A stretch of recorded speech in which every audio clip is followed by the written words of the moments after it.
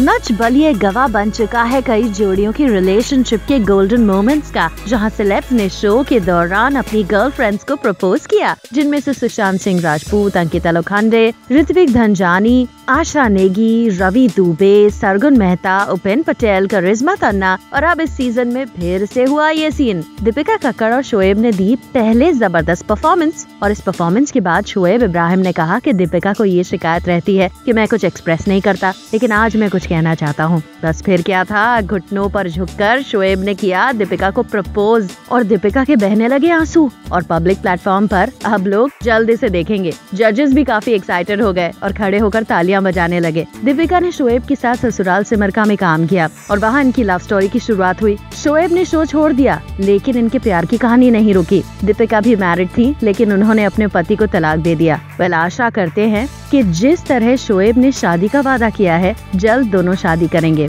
All the best both of you